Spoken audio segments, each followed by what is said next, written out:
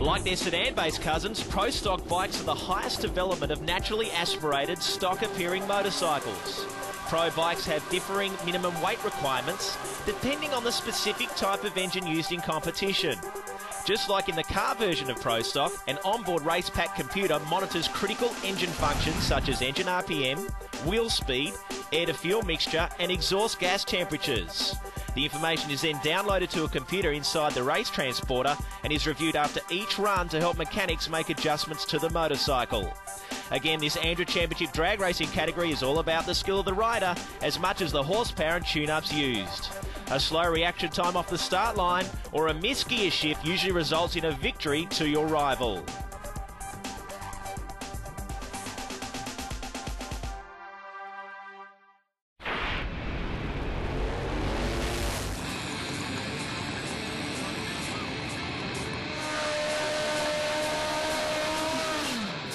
Last season, ANDRA Championship drag racing, pro stock motorcycle was really awesome to watch. Big fields, tight racing, but this man is a former national champ, and it's great to see him here at Western Sydney. Michael Gilbertson, looking forward to the season. Yeah, I am. It's going to be interesting. We've got a new bike, so uh, a little bit of work to do this meeting, but yeah, hopefully we'll get on the pace and we'll give him something to chase.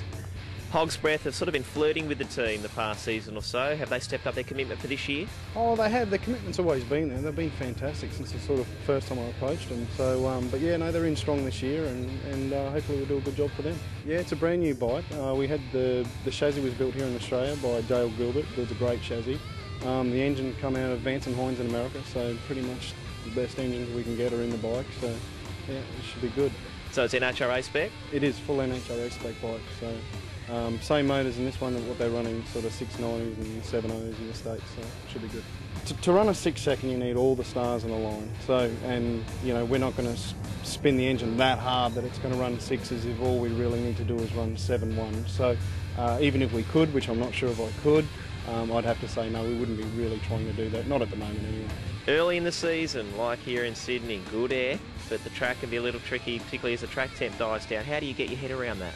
Yeah, well, at the moment I've got enough just trying to get my head around the bike because everything's so new. So uh, we've had a few issues with the data logger so far this weekend. So um, the track's not really a big issue for me at the moment because I've just got to get on top of the bike. So.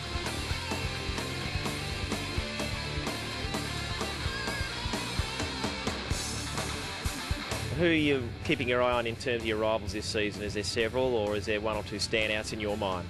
Well, look, there's probably four or five bikes in the bracket this year that can top qualify and win at any round. So um, I don't think we'll see like one bike dominate like we have in the last year or two because there's really a handful of bikes who've got all the latest, greatest gear now. So I think it'll be a lot closer. Um, I think uh, Dale Gilbert's got a fast package and Christian Cullum, Christian Cullum Gadisi have also got a fast package and there's the Harley. So um, it's going to be tough.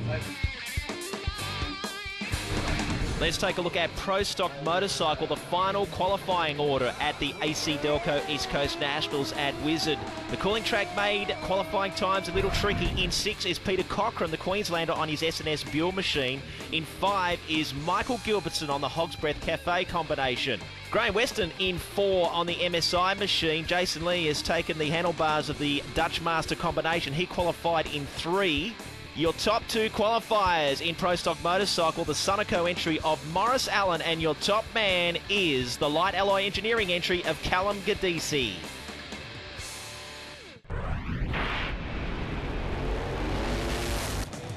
Drama already at this Andra Championship Drag Racing opener for Pro Stock Motorcycle. Callum Gadisi on the light alloy engineering machine, should I say. Rob Oberg had some trouble. Yes, certainly. After top qualifying, can't take part in the first round. Too much engine damage from that uh, that absolutely near record performance. This is a beautiful matchup here. Peter the Punisher Cochran and Jason Lee for Dutch Master. Big matchup to kick off Pro Bike.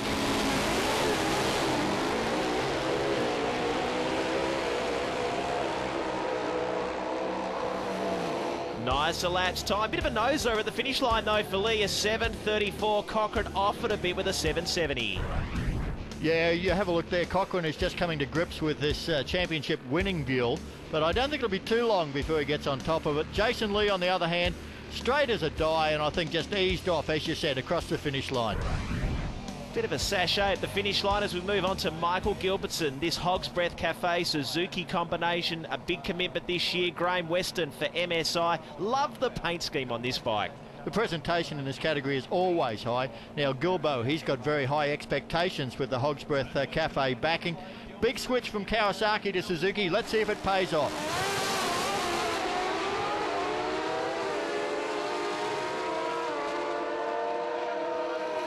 Gilbertson had the start line advantage, got off the racing groove big time. So Weston takes a bit of a lucky win, 751 in excess of 280 Ks.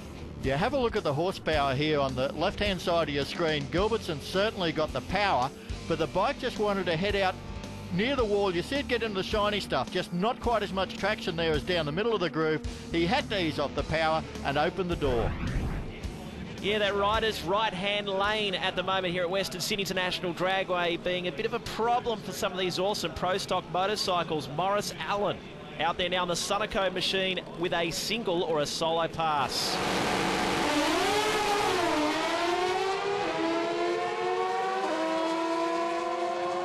Oh, there's trouble there for Allen. It looked good early, lifted the front wheel, but a 771, that didn't look promising at all far from promising.